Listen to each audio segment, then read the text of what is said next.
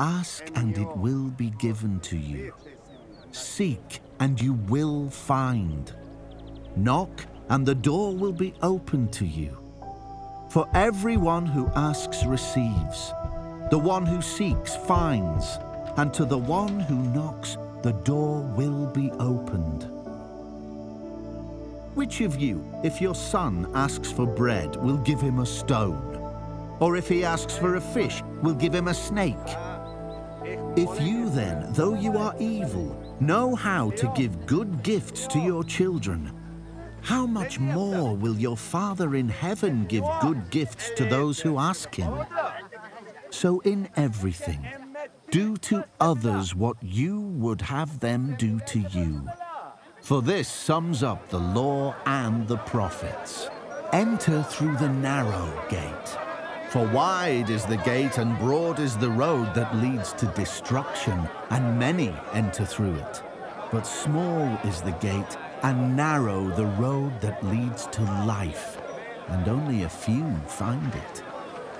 Watch out for false prophets. They come to you in sheep's clothing, but inwardly they are ferocious wolves. By their fruit you will recognize them. Do people pick grapes from thorn bushes or figs from thistles? Likewise, every good tree bears good fruit, but a bad tree bears bad fruit.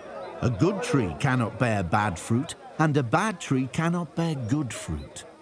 Every tree that does not bear good fruit is cut down and thrown into the fire. Thus, by their fruit, you will recognize them. Not everyone who says to me, Lord, Lord, will enter the kingdom of heaven, but only the one who does the will of my Father who is in heaven.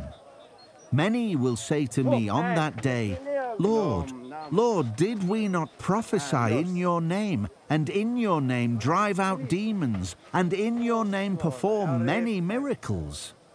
Then I will tell them plainly, I never knew you.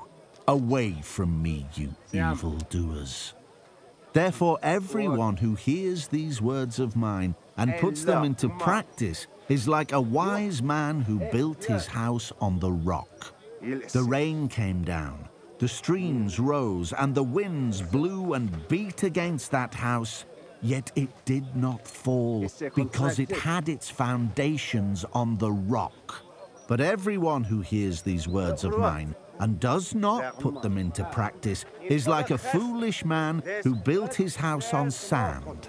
The rain came down, the streams rose, and the winds blew and beat against that house, and it fell with a great crash. When Jesus had finished saying these things, the crowds were amazed at his teaching, because he taught as one who had authority, and not as their teachers of the law.